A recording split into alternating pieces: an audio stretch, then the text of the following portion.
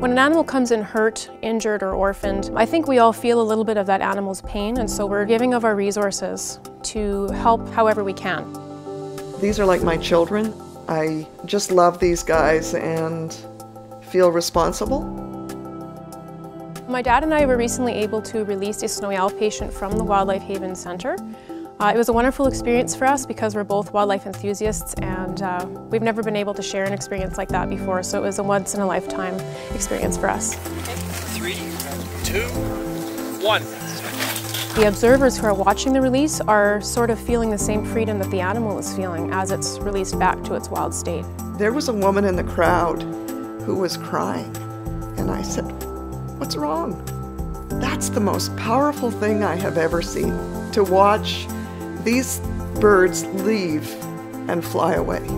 It's beautiful, and there's no thank yous from these creatures. They just take off, they never look back, and for me, that's thanks enough to be able to know that they can do what they need to do. Wildlife Haven is a volunteer driven organization that rescues injured and orphaned wildlife from all over Manitoba.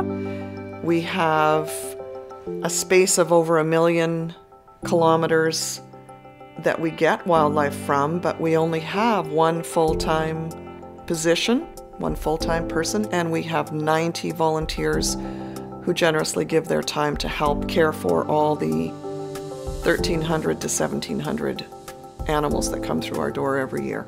We rely on donations and the work from all of our volunteers to keep the organization running fluidly.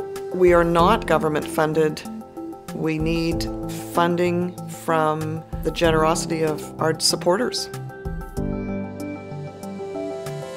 The Wildlife Haven has been looking for a permanent home for virtually its entire existence. Our temporary location, which is a decommissioned dairy barn, isn't working anymore, and we need help building a facility that will manage all of our patients. We have started building our future home, and we do need funding to finish the project.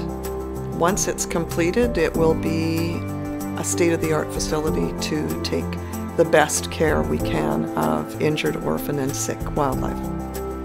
R2 had a rough start in his life, but he and I went to visit the new site, and as soon as I took him out of his carrier box, he gave the red tail cry. So he knew. This is my spot.